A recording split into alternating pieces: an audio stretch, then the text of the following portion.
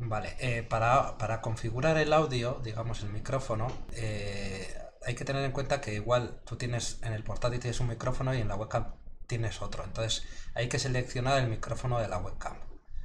Creo que será mejor porque es de alta calidad, pero bueno. Para ello, eh, digamos en el OBS hay que seleccionar el micrófono de la webcam Papalog. Para eso le vamos a dar al botón de ajustes y dentro de la pantalla que se nos abre, eh, digamos que en el menú izquierdo donde pone audio, hacemos clic y en dispositivos, la tercera opción que pone dispositivos de audio mic auxiliar, ahí tenemos que tener la opción de micrófono Realtek USB 2.0 mic. ¿Qué pasa? Que yo no tenía esa opción, entonces no podía grabar. ¿Y qué es lo que estaba pasando? Que tenía en el Windows tenía desactivado el micrófono de la webcam. Si tú no tienes esa opción de poder elegir el USB 2.mic, tienes que activarlo en, el Windows. Si aquí ya eliges y te deja poner micrófono Realtek USB 2.0 mic, entonces no hay problemas. Eh, lo seleccionas, le das a aceptar y ya estaría ya activado.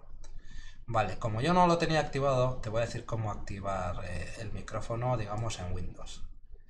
En el Windows 7 en, panel de control elegimos la opción de sonido y ahí eh, en la pestaña grabar yo tengo varios micrófonos. Este sería el de mi portátil y este sería el de Realtek. Pues antes el de Realtek lo tenía deshabilitado. Entonces para poder activarlo le, tuve que dar a activar. Vamos a poner como lo tenía antes y vas a ver cómo se activaría.